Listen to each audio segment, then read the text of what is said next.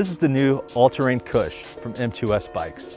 The All-Terrain Kush is our full suspension electric fat bike. It features a mid-drive electric motor, a 14.5 amp hour lithium ion battery, hydraulic disc brakes, and a lot of other great features. Stay tuned as we take the All-Terrain Kush out to the single track trails at Kolo Bike Park in Asheville, North Carolina.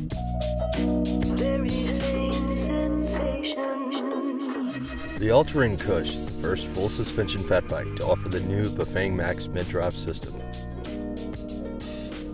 The Bafang Max motor provides 80 newton meters of torque and one of the smoothest riding experiences currently on the market, thanks to the combination of both pedal and torque sensing technology.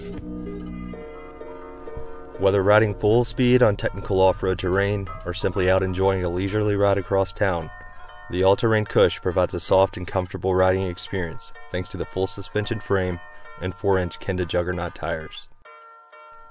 Some key features found on the all-terrain include two USB ports, including one on the LCD display to help you easily charge your phone while riding. The bike also features a strong LCD light that is activated through the bar-mounted control that runs off the main battery pack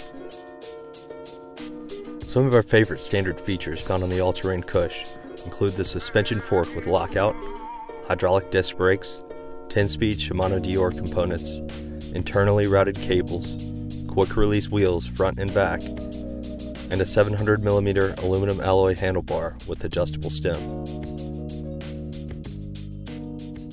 Thanks for checking out the all-terrain Kush.